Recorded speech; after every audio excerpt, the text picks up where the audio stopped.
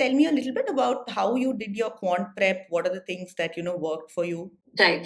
So uh, I would say I have uh, eaten Vignesh sir's brains out after every class because I used to do a lot of uh, practice questions on my own mm. and whatever used to be given to us in terms of uh, the the speed tests and of course all the material that you give us for practice.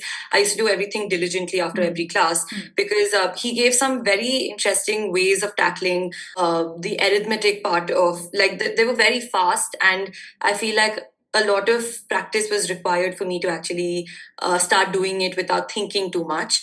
And uh, that's where i think i did a lot of practice. I used to go back to sir after every class. We used to, he used to sit with me uh, certain classes and we used to solve them.